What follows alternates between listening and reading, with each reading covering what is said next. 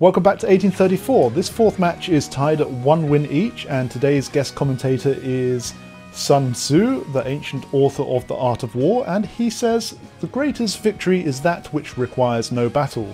But McDonnell is having none of that and opens with e4. We have e5 in response, knight to f3, knight to c6, and now bishop to c4, bishop to c5, and McDonnell goes for the Evans gambit. Uh, we've seen this once before in match 2 game number 1, which McDonnell won.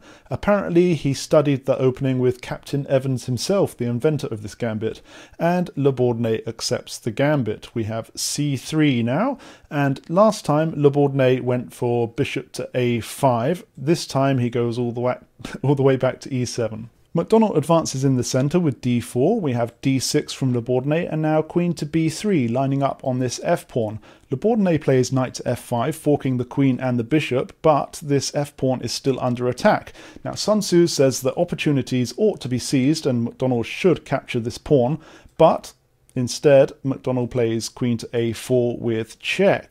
Okay, it's blocked by c6, and now the queen and the bishop are in danger of getting forked by the pawn with b5. So the bishop goes back to d3. We have b5 regardless, it still attacks the queen, so the queen retreats all the way back to c2. Sun Tzu says that he who prepares will win, so developing the queen to c7 would be good, but instead La Bourdonnais moves his bishop a second time to f6. And now some pawns exchange in the centre, and then from here both players just develop normally. We have McDonnell castling, La Bourdonnais develops his kingside knight, McDonnell goes bishop to a3, castles from La Bourdonnais, and now uh, McDonnell develops his second knight to d2, bishop to e6 in the centre, and now rook on a to d1, x-raying the queen behind these two uh, the bishop and the knight here. And now we have queen to c7 from the La Bourdonnais getting out of the way. Both players are now fully developed, they're both castled and all their pieces are out, and the game continues. Knight to b3, knight to c4, and here McDonnell should maybe think about capturing this knight because it would get rid of his bad bishop. As Sun Tzu says, when your officers are weak, the result is insubordination. But instead of this, McDonnell plays bishop to c1. Now here, La Bourdonnais could advance his c-pawn, and then after capturing the knight and the bishop capturing back, he is starting to crowd the enemy and to impose his will upon him. But instead of advancing this pawn and doing what we said, we have rook on f to d8. He's getting upon this open file here. So still a nice move. We have h3 from McDonnell and now c5, better late than never.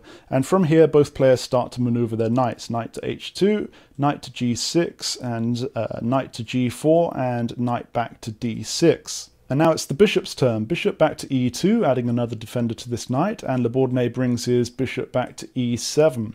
Now from here, McDonnell decides that he's going to push f4, and uh, this seemingly weakens his entire kingside, so Sun Tzu isn't too impressed with this, but he tries to put a positive spin on it. Appear weak so that the enemy may grow arrogant. Let your plans be dark and impenetrable as night. Well, Okay, let's see how this works out for McDonnell. First, La Bourdonnais captures the pawn, the bishop captures back, and now the knight captures the bishop. Um, so, um, in the mists of chaos, there is also opportunity. So the rook captures the knight, and now the remaining knight comes to c4. And as it does so, it reveals an attack on this rook, and it also threatens a fork on the queen and the uh, other rook here. So what's going to happen? Well, we have rook back to f3, which defends this forking square whilst also getting out of the path of the queen. We have now bishop capturing the knight on g4, and of course this completely destroys the kingside structure for McDonnell. Uh, he captures back with this pawn. Perhaps sensing another opportunity, La Bourdonnais plays his knight to e5, which attacks the rook and the pawn. Now, moving the rook away would actually defend the pawn with the bishop, so which way does McDonnell decide to go? Well, perhaps bringing it back to f1 would be safer, but as Sun Tzu once said, on difficult ground, press on. So McDonnell plays it over to h3. Now, I think he's trying to line up here on the h pawn, and watch out for this because it will become important later on. So we have the rook captures on d1, and now the queen captures back, and the other rook comes across to threaten the queen. Now we have uh, queen to f1 moving aside, and he's maneuvering around to this square to try to get back on the h-pawn. We have c4 pressing ahead, and now knight to d4 from McDonnell. Uh, bishop to c5 now, pinning the knight against the king. McDonnell continues with his plan of queen to f5 and lining up against the h-pawn, but Sun Tzu says this is just bravery without forethought and g6, so the queen has to retreat all the way back and it goes to f2. Here, b4 and taking out the rearmost white pawn would be devastating from Le Bourdonnais. Um, combined with this pinnage going on here. But first he prepares this move with queen to e7 and McDonnell starts to unpin king to h1. We have b4 now and what does McDonnell do? Well, he doesn't capture, he brings his queen to e3 and the pawn takes out c3. Does McDonnell capture this dangerous passed pawn here? No, he decides to go on the attack. Well, this is the McDonnell that we know and love. Um, he's again lining up against the h-pawn, but Le Bourdonnais simply pushes f6 to reveal the defense from the queen. And we come to a very interesting point in this game. McDonnell plays knight to e6, and this knight is undefended. He's trying to give it up in order to deflect the queen and infiltrate and finally capture the h7 pawn.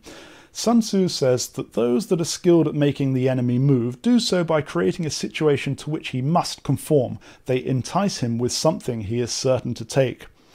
But sadly, he is not talking about McDonnell's skills. Le Bourdonnais just captures here.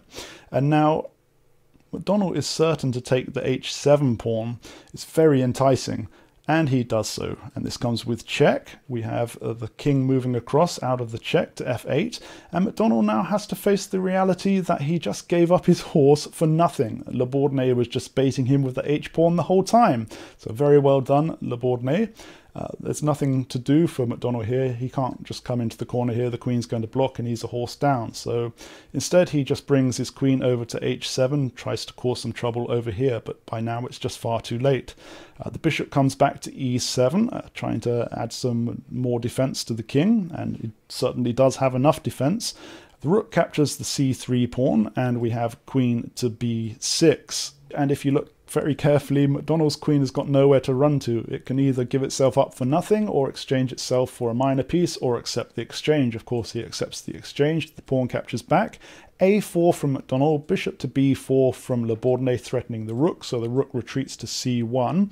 And now this pawn here is passed and looking very dangerous. It just comes forward to c3. McDonnell brings his king to h2, trying to get out of the corner, but Le Bourdonnais just brings his rook down to d2 and threatens the bishop. So let's just take a quick look at what's going on here. Well, the bishop's under attack, of course, but it's the only thing defending this pawn. So if it's going to move somewhere, say f1, the knight's coming in to capture the pawn, and it comes with check and all sorts of trouble. Because on top of this, this rook is stuck guarding this dangerous passed pawn, and this dark square bishop is coming into a3 to chase it away. So it's looking very, very ominous indeed for McDonnell. He agreed and decided to resign the game. Le Bourdonnais is now winning two games to one. One final comment from Sun Tzu, talking to McDonnell. He says, He who wishes to fight must first count the cost. See you next time.